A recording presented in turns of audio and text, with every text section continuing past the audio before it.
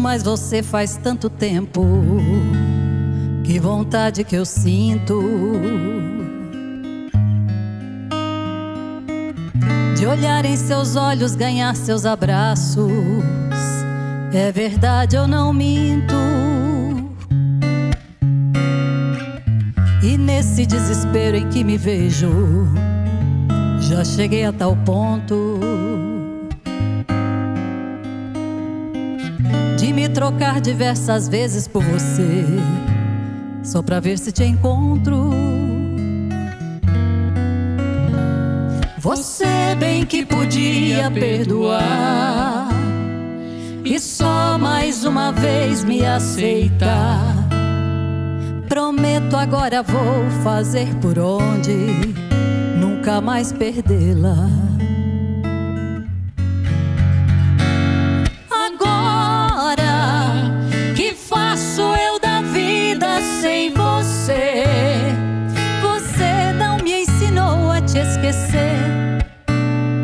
Você só me ensinou a te querer e te querendo eu vou tentando te encontrar, vou me perdendo, buscando em outros braços seus abraços, perdido no vazio de outros passos.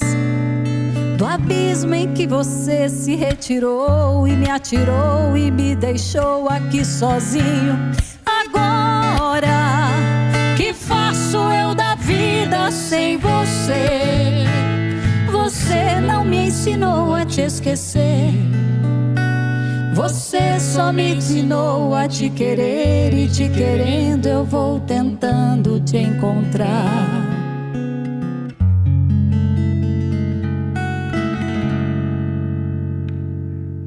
Queridos devotos do Pai Eterno de todo o Brasil, está começando mais um programa Bons Cantos, aqui na TV Pai Eterno.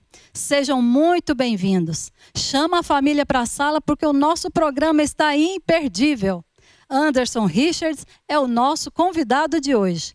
Ele é cantor, compositor, criador da banda Mr. Jim e tem também um trabalho solo.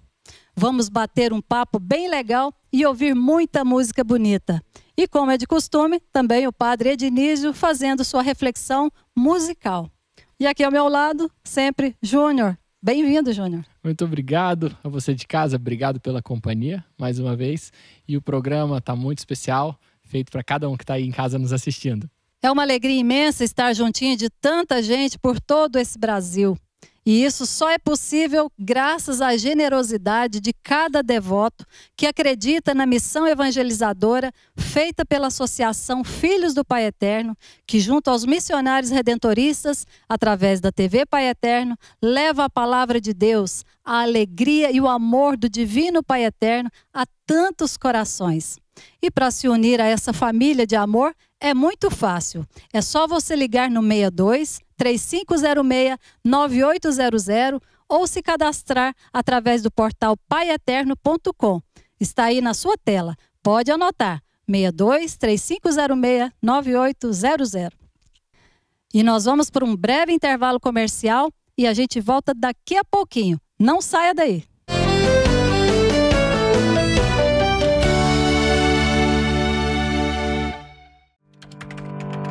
Você conhece a loja virtual do Pai Eterno? Lá você encontra muitos produtos de evangelização. Além de ser um espaço de compra seguro, ainda tem formas de pagamento facilitado. Você e sua família podem investir e adquirir produtos e, ao mesmo tempo, colaborar com nossa obra de evangelização. E tudo chega com segurança no conforto da sua casa. Acesse lojapaieterno.com.br ou ligue para nós 62 3506 9800. Faça parte dessa família de amor.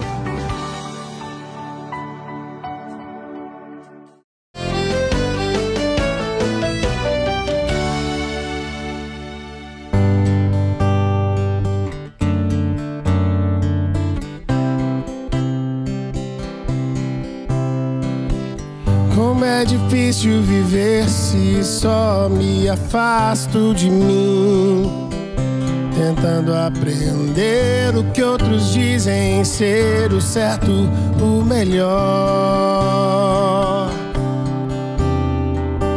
Está tão difícil saber quem diz a verdade pra mim. Será que alguém quer saber?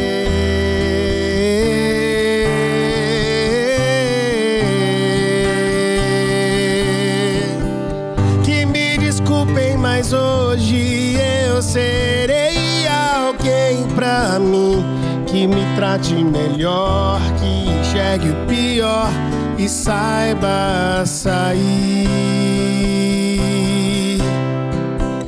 Daqui a pouco meu mundo vai brilhar, sorrir pra mim.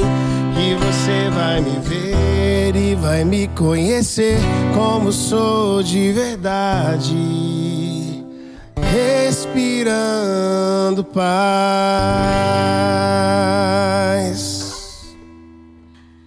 Estamos aqui de volta com o programa Bons Cantos e temos a honra de receber aqui Anderson Richards. Para quem eu assim, eu gosto muito de dizer o Anderson da Mr. Jim. É, vamos conversar um pouco aqui, mas antes seja muito bem-vindo. É uma honra receber você aqui.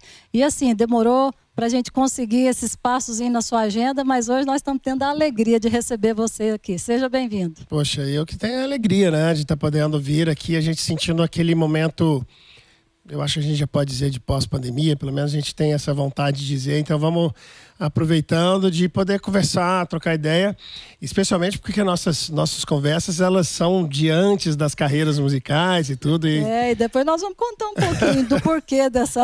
Exatamente. Então assim, é, falar, contar um pouco de histórias, novidades da vida, da música. Estou aqui à disposição. Feliz, felicíssimo de estar aqui com vocês. Ah, nós também estamos muito felizes. E aqui, assim, a gente bate um papo, canta bastante, você fica à vontade, você está em casa aqui, tá? Porque o Bons Cantos tem essa proposta. Ser um programa bem descontraído e você tem muita história para contar, mas tem muita música também para cantar para nós aqui. Né? Então a gente já vai começando assim. Para quem não sabe quanto tempo de, de, de trajetória, de estrada e a Mr. Jim, quantos anos? A gente tem a data de aniversário da banda, é 21 de dezembro né? O nosso início, porque é o dia do primeiro show em 97. Então, em dezembro de, desse ano, a gente vai completar 25 anos de história, né? É um tempinho considerável. Os cabelos contam um pouquinho, né? Dessa, dessa historinha. A mas... tinta até ajudava, mas eu, eu aboli a tinta já há algum tempo. Meio que para assumir essa, essa maturidade, essa senioridade da história pessoal e profissional também. Engenheiro civil, faz tudo assim naturalmente, planejado, né, Júnior? Aqui tem outra. Aliás, temos dois engenheiros civil aqui dois hoje. Dois engenheiros que, que se realizam na música, né, Anderson? Exatamente. Como né? é que nasceu essa ideia da banda Mr. Jim? E, e, junto a essa pergunta, quero te perguntar, quero te fazer outra, outro questionamento. A música sertaneja como é que a música sertaneja, como é que foi esse desafio de você é, iniciar esse trabalho da, da banda Mr. Jim? É, vamos começar do início. Tem muita gente que não sabe, mas, por exemplo, a minha família, especialmente meu pai, a família da minha mãe, gostava de música, mas não era tanto de cantar. Minha avó que cantava especialmente na, nos cânticos de igreja, tá? minha avó Sebastiana. A família do meu pai, especialmente do meu avô Sebastião, né? sempre foi uma família de, da música sertaneja, né? Daqui a pouco a gente vai contar, inclusive, que todo mundo, onde se funde essas famílias aqui, e de viola, música caipira de verdade. Então eu cresci nesse ambiente, meus avós maternos moravam, né? Eles não tinham uma fazenda, eles moravam a vida inteira, criaram os filhos lá. Então a, a minha vivência com o campo sempre foi muito grande. E eu cresci cantando as músicas que meu pai, ouvindo e naturalmente quando eu comecei a cantar as músicas com meu pai, né? As músicas sertanejas especialmente. E, mas meu pai gostava muito também, eu, eu, falo interessante, assim, a raiz das minhas influências foram meu pai, inicialmente com as músicas sertanejas, da meu pai e da minha família. Meu pai também gostava muito de alguns artistas internacionais, como Simon e Garfunkel, especialmente, Bee Gees, Beatles, The Carpenters, ABBA. Então, aquele ambiente, estava conversando com o Júnior aqui, no, no, esse ambiente que a gente cresce é fundamental na nossa formação, assim, porque a gente é influenciado pelos nossos heróis, são nossos pais, né? Então cresci uh, ouvindo isso e cantando com meu pai nas festinhas, de, nas festinhas de casa. E aí eu vou fazer uma aula de violão. Eu acho que eu sou o pior aluno que o meu queridíssimo professor Adão já teve, porque eu queria fazer o Lá Mi Ré para poder cantar. Meu negócio era ter uma. Mas foi muito bom para mim, que aí ali eu queria uma independência de fazer umas músicas e cantar com meu pai. E aí, a minha geração, eu com 12, 13 anos, teve uma força muito grande do rock nacional. Então misturou toda essa minha essência de casa, de família, com aquela da juventude, da galera da escola. E isso foi se misturando. Aos 16 anos, eu 14, 15 anos, me lembro quando, eu fiz uma primeira música para participar de um festival. Foi uma experiência sensacional, embora é, nervosíssimo, né, que é natural da primeira apresentação. E ali procurando, talvez a minha ideia no primeiro momento era a lógica era ter uma dupla sertaneja. Quando eu entrei na faculdade, eu fiz, fui fazer engenharia civil, esse assunto ficou em stand-by e tocando mesmo para a família. E no quarto ano eu viajo para o Araguaia com um grupo de amigos e lá tem um amigo tocando teclado e eu tocando violão. E a gente sempre tocava violão em casa, mas nunca tinha visto ali, eu nunca tinha tido uma banda, né? Alguém tocando teclado, o outro tocando atabaque. A gente, poxa, eu tô quase não sentindo uma banda. E aquilo mexeu muito comigo. A gente voltou para Goiânia e montou uma banda uma banda que inicialmente tocava de tudo, né? Ah, vamos tocar de tudo. A gente tocava, cantava música sertaneja, cantava pop rock, reggae, que era a priori ali que eu estava me interessando, e também músicas da Bahia, né? Na época, o Axé Music. E eu gostei daquilo, eu estava me formando. No ano seguinte, eu me formava em engenharia civil, de repente me deu um insight mais, mais forte da minha vida, no sentido profissional, que eu falei, eu quero mexer com isso. A banda, os meninos da primeira banda eram pessoas fantásticas, mas eu via que ele não tinha esse mesmo desejo eu. falei, eu preciso sair e montar uma banda. Pai, eu tô querendo montar uma banda, vou formar engenharia civil. E aí foi um momento especial do meu pai, né? Porque naturalmente, acho que meu pai, o sonho dele era ter feito engenharia. Meu pai guardou um compasso Kern suíço, não sei onde ele comprou isso, que era caríssimo e tudo, e guardava. E eu cresci vendo meu pai mostrar isso para os outros. Ó, oh, guardei isso aqui. E, e aí, é, o lance das mensagens subliminares, né? Meu pai falava para os outros, jamais ele me pediu fazer engenharia, mas aí você, pô, meu pai, se eu fizer engenharia, eu vou agradar meu pai. E aí eu fiz engenharia, aí eu fui me formar, e ao formar, meu pai falou, oh, quero mexer com música, meu pai me dá todo apoio. E ali eu começo. E com detalhe, pai, vai ser uma banda de pop rock. né? e ele, mas ele deu todo apoio. Isso, para vocês terem uma ideia, foi outubro, setembro, outubro de, dois, de 97. A banda estreia em dezembro. Em junho, meu pai falece, então seis meses depois. Então ele, ele deu o apoio para eu mexer com a banda e ali começava o Mr. Jim com essas influências todas musicais e de comportamento do meu pai, vendas, engenharia e tudo mais, que foi muito importante para mim. Vou pedir mais uma música, tá? E aí em seguida a gente continua com esse bate-papo e nós vamos também falar de algumas curiosidades aqui, viu? Já que a gente falou do meu pai, vou cantar a música que eu fiz para ele justamente essa cronologia aí.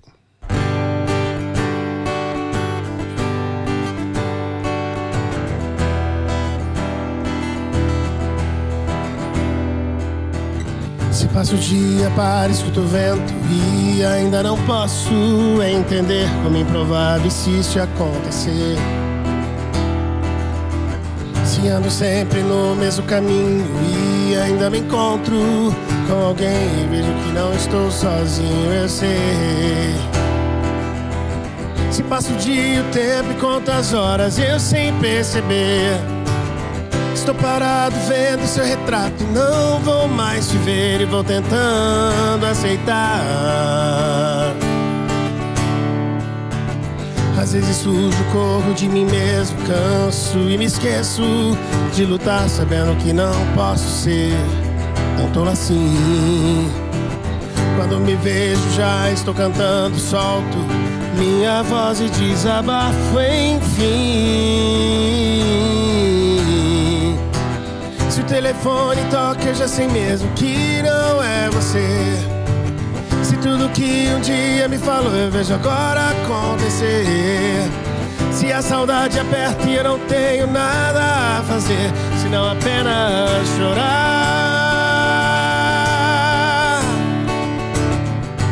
Não vou mais querer explicar, eu já sei.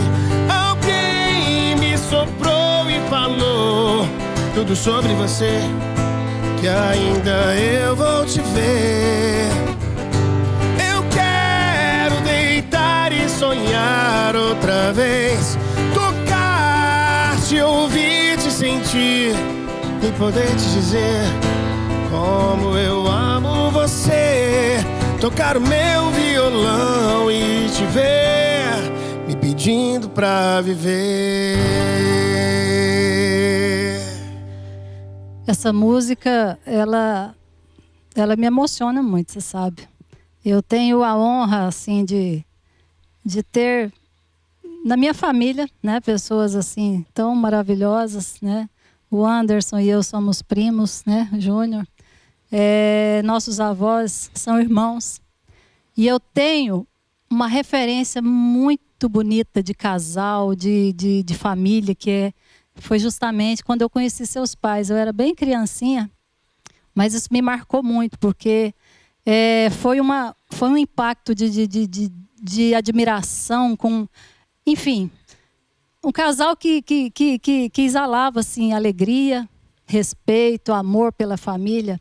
E eu tenho muita, muita, muita alegria, Anderson, de, de ter você como meu parente. Eu gosto muito de falar que sou sua prima. Tem gente que fala, não é possível ser prima do Anderson? Eu sou sim, né? Pois e eu também falo que eu sou primo da Célia, do, do João e da Carol. Eu fico muito honrada, porque eu tenho, sempre tive, mas tenho assim um, um amor enorme, tá? Pelo seu pai, pela sua mãe. Aproveitar e mandar um beijo para Rosa, essa mulher linda, guerreira, talentosa também, né? Que tem Tomou a nossa admiração. Hoje, vim para cá, mandar um beijo para você Que também. bom, então devolvo esse beijo para você, Rosa, e você para minha referência, tá?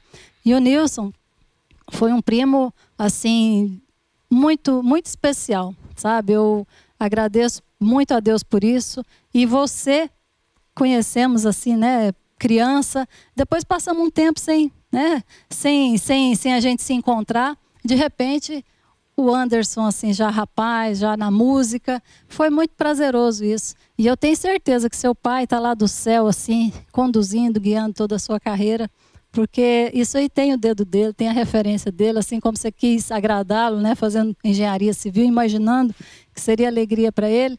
Eu fico pensando também da festa que ele faz lá quando te vê cantando. Esse homem bem sucedido, esse profissional bem sucedido que você é. É, E eu tenho, eu não, eu não tenho tanta certeza que foi uma, um encontro, né? Porque eu tinha perdido meu pai em, meu pai faleceu dia 26 de junho.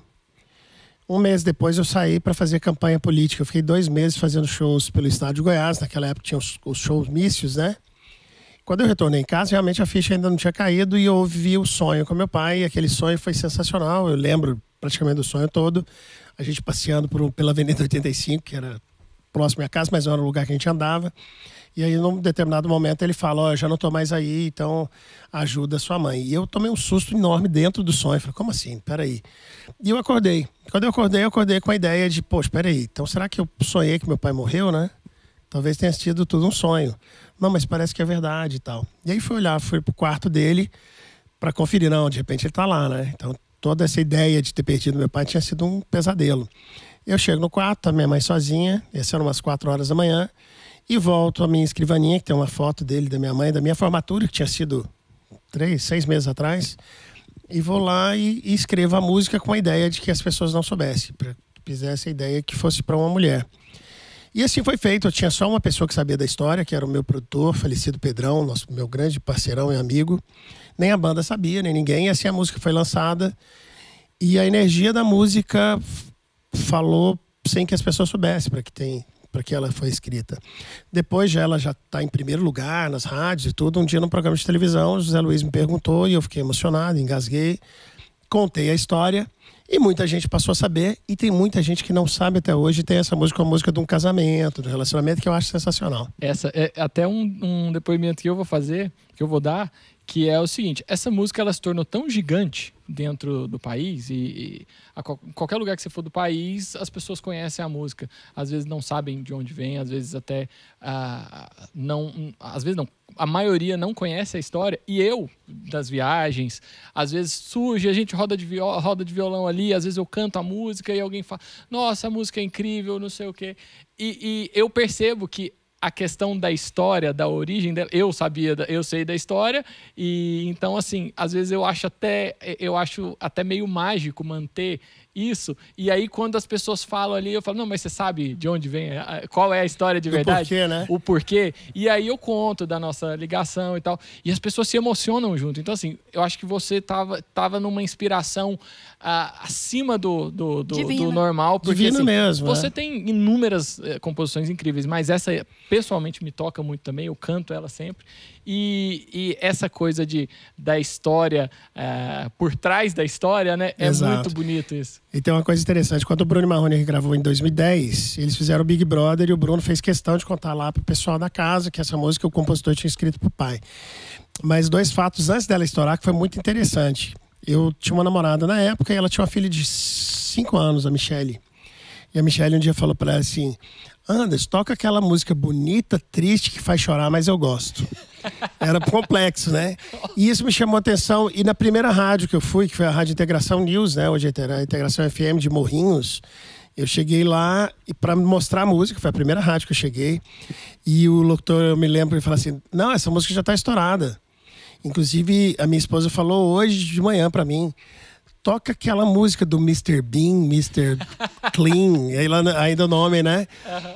Que, é, que parece que entra na alma da gente. Então, assim, a ideia da energia da música já fazia parte, as pessoas não sabiam por quê. E ela se.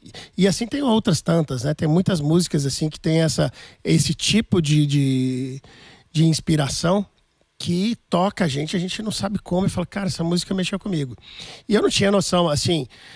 Na verdade, eu lendo um livro agora, eu tive a ideia que eu tive um desejo tão grande que se tornou realidade, porque quando eu acabei de escrever a música, eu li a música, chorei e lembrei, falei, pô, meu pai me ajudou a escrever, porque não tem coisas aqui que, que por mais que eu que me sentisse capaz, eu achei especial demais. E imaginei um clube jaó lotado cantando a música. Isso foi outubro de 98. Essa cena aconteceu um ano e meio depois, em abril de 2000. E aí, pensa, minha emoção até hoje, lembrando assim, você fica, poxa, uma coisa que eu desejei, ou que será que eu, que eu projetei, né? E aí, acho que a música abriu não só Alas para o como ela conduziu as demais composições, a banda e as histórias, né? E isso é muito importante. Canta mais um pouquinho para eu me recompor aqui, porque as lágrimas. Vou cantar uma música que eu acho que tem a ver com, com o que a gente está falando aqui que é uma composição do William Borges, de Felipe Duran e do Alberto Araújo, né, grande poeta. Música quando eu ouvi deles, eu falei, poxa, essa música é sensacional e a gente gravou. O nome da música é Boa Companhia. Nova York, Machu Picchu, Marrakech, Paris e Rio de Janeiro. Já fiz esse roteiro. Amsterdã, Bruxelas, Londres, Monte Carlo e Milão só pegar o avião. Budapeste, Montreal, Lisboa, Tóquio e Atenas. Essa viagem vale a pena. Havana, Buenos Aires, Santiago, Caracas e Madrid. Aconselho você a ir. Cairo, Estocolmo, Sarajevo, Moscou, Jerusalém. Se possível, vá também.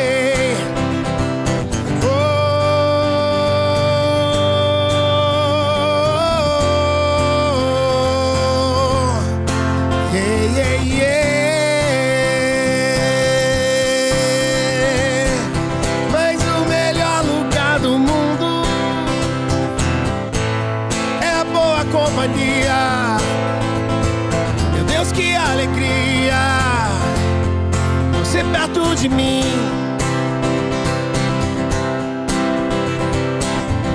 O melhor lugar do mundo é boa companhia. Meu Deus, que alegria! Você perto de mim no show do Mr. Jean. Sensacional, muito bom. Achei sensacional assim a gente cultivar as amizades, né? E, inclusive com os parentes, que tem parentes que a gente acaba não sendo tão próximo quanto com outros. E, e quando eu vi esse refrão, falei, poxa, deu um tempo depois, o J Quest gravou O Melhor Lugar do Mundo é Dentro de um Abraço, que tem mais ou menos a mesma ideia. Então eu falei, poxa, essa, essa ideia que eles tiveram foi sensacional. E o Alberto é um cara que fez programa de televisão de viagem pelo até hoje tem programa voltado para turismo. É um cara que literalmente conhece o mundo inteiro. E ele disse que a, que a inspiração foi um dia que ele que ele estava num lugar sensacional, mundo afora, e sentiu uma solidão e debaixo de um pé de mexerica aqui uh, em Abadia ele se sentiu felicíssimo, né? Então realmente você está acompanhado das pessoas é sempre o melhor lugar do mundo. E uma coisa que eu noto na, nas, nas músicas do Mr. Jean, sejam composição sua, sejam composição de outras pessoas, é, vocês se preocupam sempre em ter letras que tragam alguma mensagem, sempre algo positivo, algo gostoso, algo que que, é, que façam o ouvinte refletir em alguma coisa e, e, absorverem algo daquilo, né? Algo, algo do que vocês estão querendo passar. É, é alguma coisa pensada? É alguma coisa meio no, na natural? Como que você, que você fala disso pra gente? Foi bom, na hora que você estava falando aí, eu estava aqui pensando. No início não foi nada... A gente não teve que se preocupar. Foram as coisas que saíam de verdade. Músicas de amor, muito tempo depois eu olhava para a banda, um dia a gente viajando da van, falei, cara, uma coisa impressionante nossa aqui, como a nossa história de vida de cada um, ela se conecta com os mesmos princípios, a mesma ideia. Então isso ajudava muito. Então era natural os assuntos ser família, namorada, amor, né? Alguns na época já tinham filhos no início da banda, né? Então esse assunto era normal. Eu, às vezes, puxar para um lado mais irreverente, que embora fazia algumas coisas mais lúdicas, como foi minha juventude, coisa de brasileiro, e também uma coisa nacionalista do futebol. Que também tem mensagens muito legais. Né? Isso. Né? E, e assim, de positivismo e tal. Era natural. Começou a ser mais preocupante a gente se preocupar um pouco mais quando o mercado meio começou a valorizar outras coisas e aí alguma de alguma maneira pintar aquela ideia, pô, se vocês fizerem alguma coisa assim, talvez vai fazer mais sucesso. Aí foi a hora de preocupar, falou não, continua continua no, no seu. Na bifurcação né? ali, né? Qual então vai até onde você se sente bem. Aí foi um momento que. Porque antes estava dando certo, a gente foi espontâneo. E tão espontâneo, Júnior, que você, como produtor e músico, em, isso foi 2000. Mr. Gente é uma característica que não existia na música brasileira, especialmente no pop rock, que era uma banda romântica e divertida, quase porque a gente tinha duas músicas extremamente diferentes, que era Sonhando e Minha Juventude como os maiores hits da banda aquilo para o mercado fonográfico era ruim, não era normal. Hoje não, tá vendendo, pô, vamos lançar esses caras aí, não tem problema nenhum. Mas naquele momento causou uma estranheza, mas era a nossa essência, especialmente minha, porque eu compus as duas, né, de falar de amor e de sentimento, uma forma muito legal, e de minha juventude, quase que uma brincadeira. E o mais legal é que o nosso público se reúne até hoje no show e chora sonhando e pula em minha juventude. Vamos para um breve intervalo comercial cantando. E aí, na, na volta, a gente conversa mais. Então, tá bom. Quando entro em meu carro, o seu batom jogado e outras coisas que não deixam te esquecer. Já se passam quatro horas, eu estou aqui parado, só pensando em como te entender. Mas por que não vem me ver?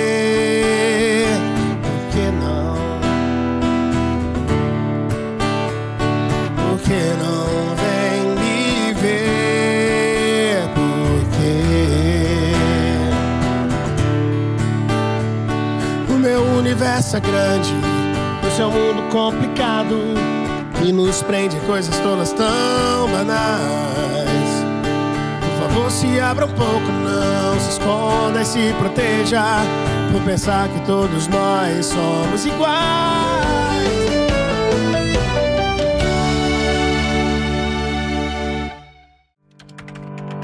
Você conhece a loja virtual do Pai Eterno? Lá você encontra muitos produtos de evangelização. Além de ser um espaço de compra seguro, ainda tem formas de pagamento facilitado. Você e sua família podem investir e adquirir produtos e, ao mesmo tempo, colaborar com nossa obra de evangelização. E tudo chega com segurança no conforto da sua casa. Acesse lojapaieternocom.br ou ligue para nós 62 3506 9800. Faça parte dessa família de amor.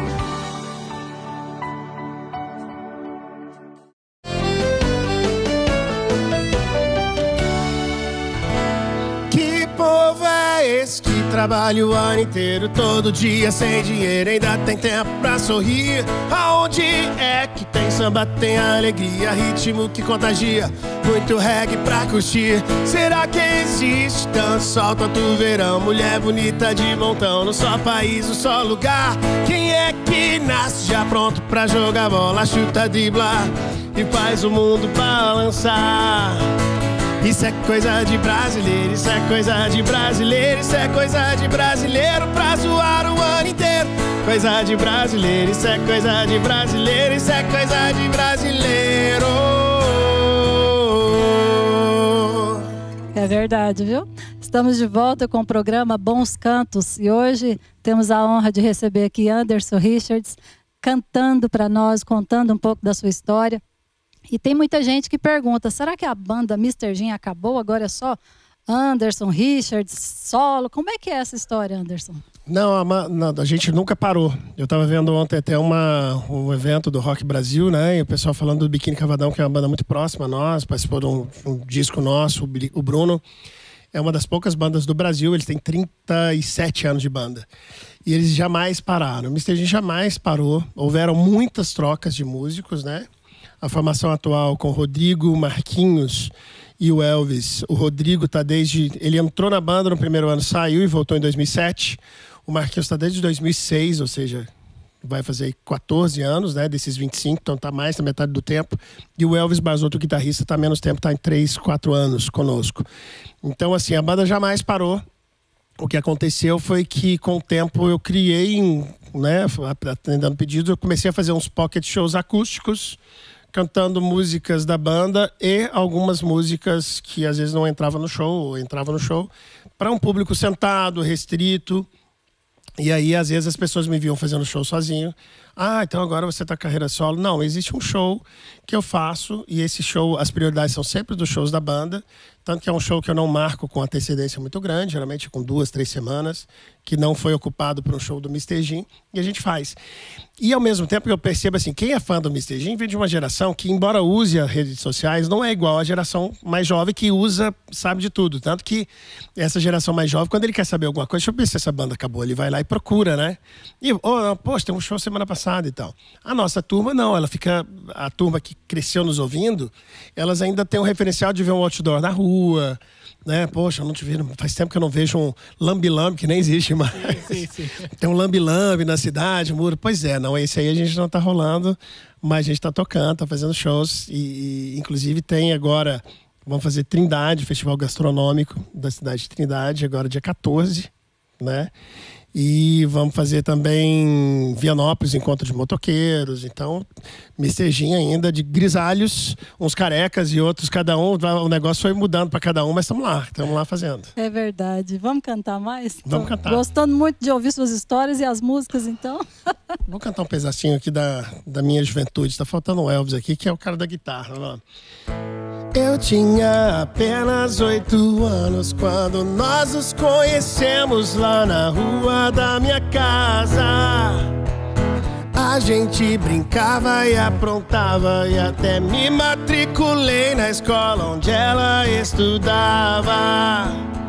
E foram muitos anos felizes de sorrisos e amizade até que um dia aconteceu olhei pra ela e dei um beijo naquela linda boca e ela correspondeu. E meu mundo girava e eu nem acreditava que aquilo era tão bom. Minha juventude brotava e eu me apaixonava pela vida e por meu som. Aí veio o dia a dia e o meu sonho crescia de viver com ela pra sempre. O dia inteiro estudando, trabalhando e cantando pra ter dinheiro pra gente. E quando eu já me formava, de repente ela veio e falou na minha frente: mais ficar contigo. Amanhã talvez te ligo, quero ser independente.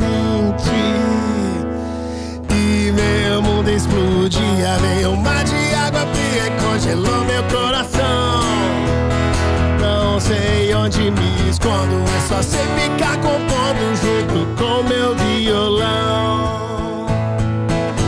Veio minha mãe de manhãzinha, me gritou pra levantar e eu acordei assustado. Contei o que havia sonhado, ela veio do meu lado e sussurrou no meu ouvido. O refrão vou deixar pra vocês escutarem no show, porque hoje eu não consigo cantar o refrão da minha mãe. Muito bom. Brinco muito, muito com a minha mãe dessa hora, porque a minha mãe não tinha nada a ver com o personagem dessa, da música, né? Mas no show tem uma gravação DVD que, eu, que ela tava na gravação, né? Eu falo, mamãe. pra alguém que acreditar que minha mãe era super ciumenta e tal. Minha mãe... Aliás, eu sou testemunha. Que mulher maravilhosa, viu? Eu sou fã dela. Ela sabe disso. Anderson, quantos trabalhos, quantos, quantos DVDs da banda Mr. Jim? E fala também para nós um pouco desse trabalho que você nos trouxe aqui hoje. É, isso aí foi, na verdade, a gente tá com nove álbuns, sendo três ao vivo, né? Três DVDs. A gente gravou o primeiro DVD em 2007. Ah, o Eletroacústico, que é um cenário, que- né, aquele que foi o primeiro e especial ali com Goiânia de, como cenário. A gente pega Incrível, o pôr do incrível, sol, incrível. com um negócio que, assim, é, é sensacional. Em 2011, a gente gravou no Oscar Niemeyer, né? O, o- o DVD Elet- Onde Estiver que aí já é mais público, né? Uma quantidade de público, mais pulsante o show. E em 2017 a gente completou 20 anos de banda comemorando, gravando em Uberlândia, que é uma cidade que tem uma energia com a gente sensacional. A gente acabou de tocar lá agora três semanas. É impressionante a conexão que tem. E não bastasse isso, eu conheci minha esposa lá em Uberlândia. Então, Uberlândia virou.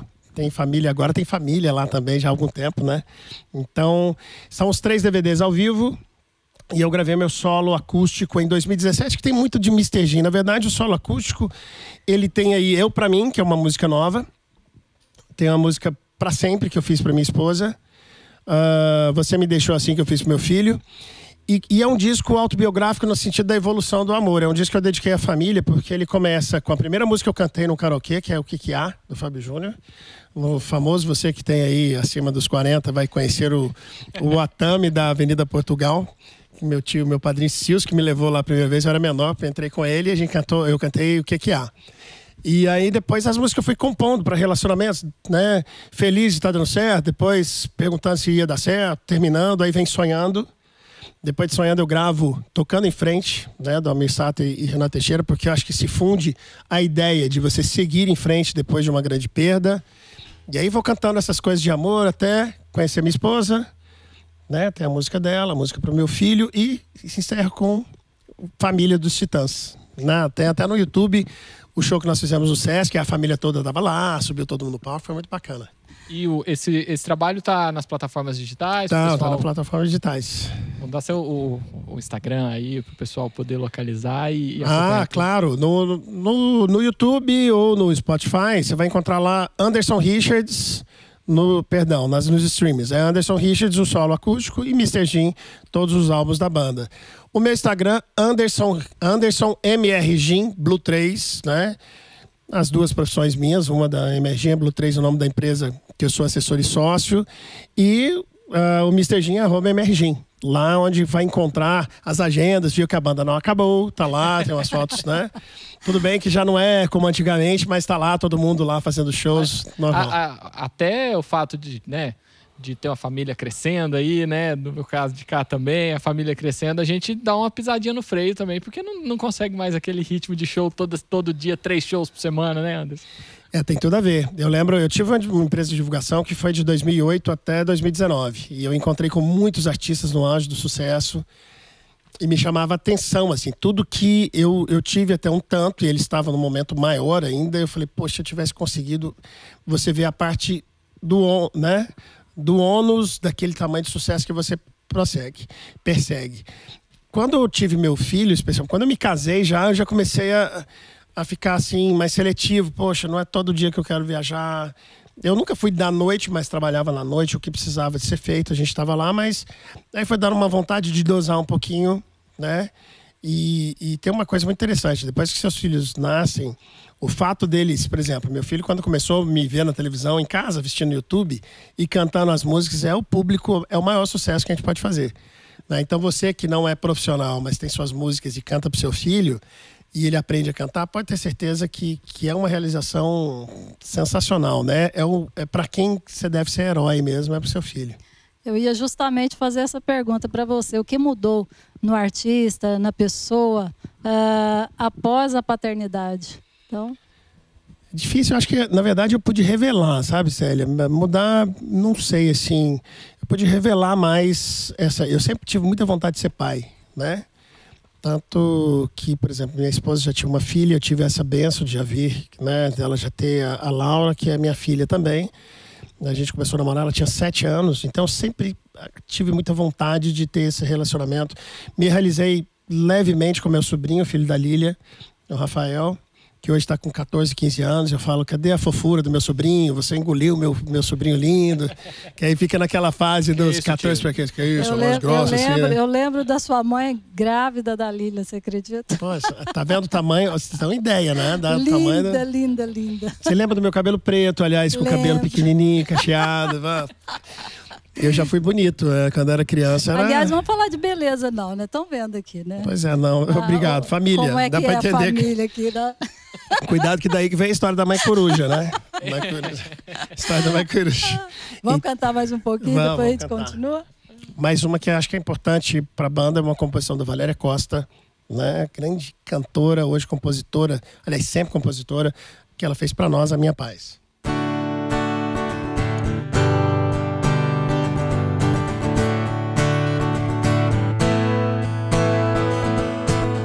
Mas um dia vem chegando, passo as horas a contar. Quanto tempo se passou desde que você se foi? Passo a mão pelos cabelos procurando um sinal de que essa longa viagem está chegando a um final. Mas eu não sei como chegar até você. Já não posso esperar essa ilusão deixou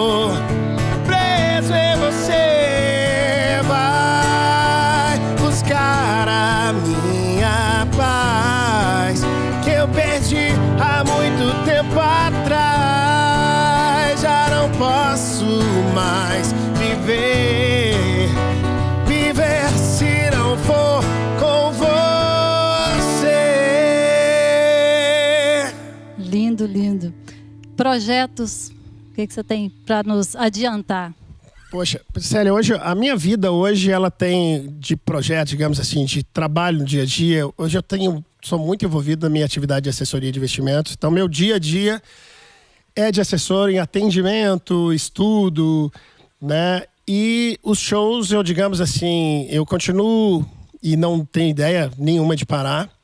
Eu brinco que eu desliguei o motor da canoa, para quem é pescador aí, e a canoa tá andando. Durante muito tempo eu liguei esse motor e nadava e remava. A carreira artística e a gente está colhendo frutos desses vinte e tantos anos de história. E, está muito gostoso de cantar. É um momento que eu descanso. Eu até brinquei de pescaria, mas eu não sei pescar. Então a minha pescaria é fazer os shows, viajar com os meninos e bater papo e tal. E, e hoje a ideia é de me cada vez mais fortalecer dentro dessa atividade, que eu era atendido e passei a atender e passou a ser, fazer muito sentido para mim. E passou a me deixar feliz e dar um tempo junto com a minha família.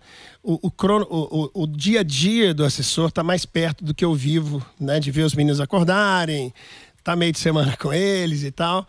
Então, o meu projeto de, neste momento tem sido muito dentro da área do mercado financeiro, que eu estou desde 2019.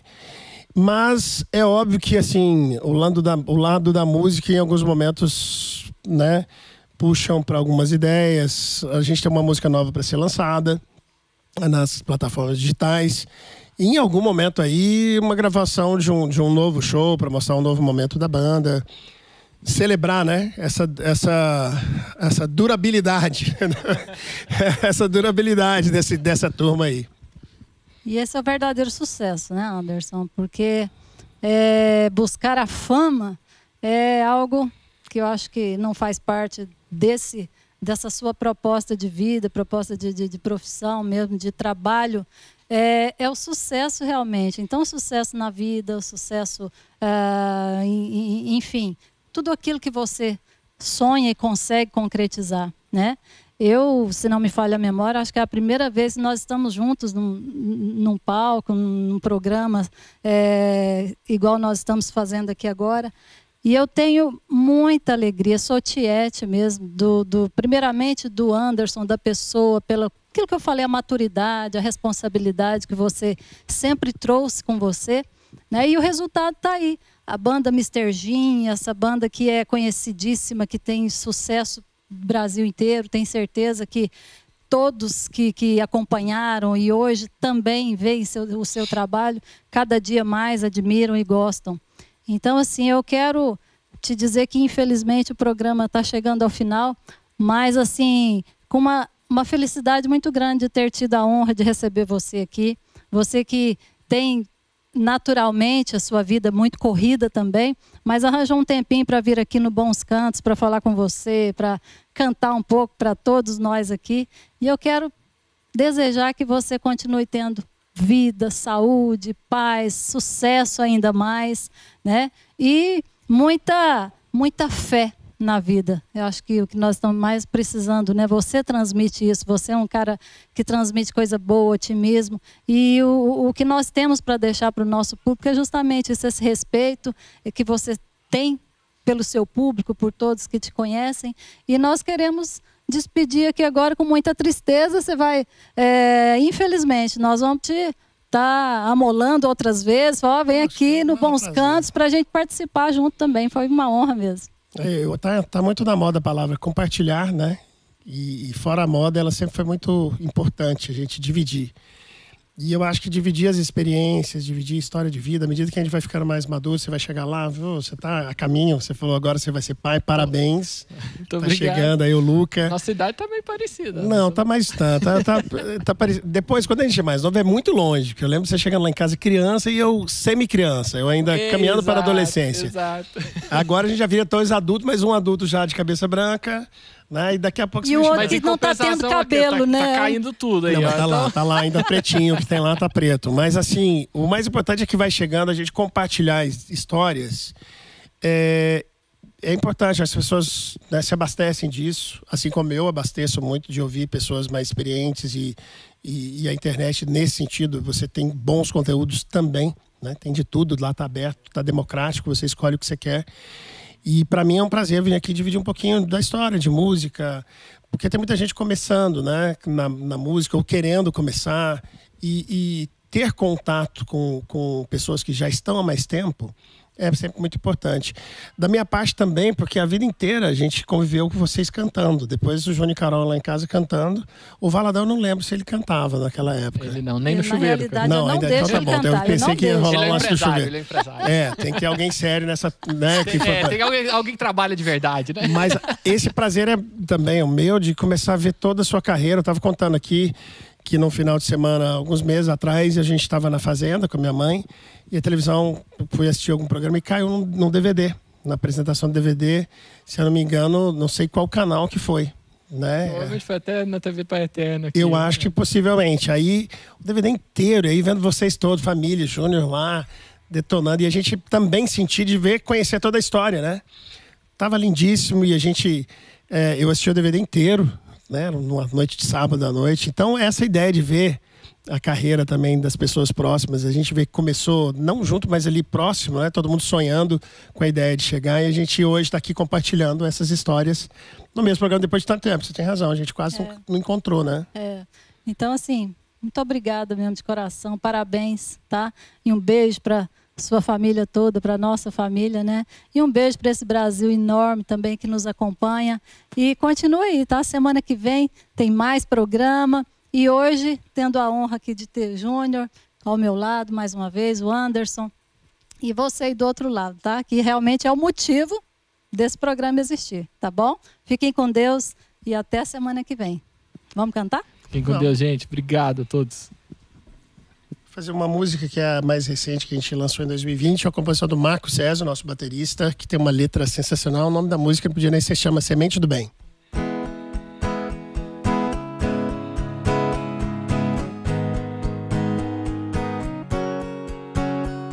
Mais um dia nasce a esperança de que tudo isso possa melhorar.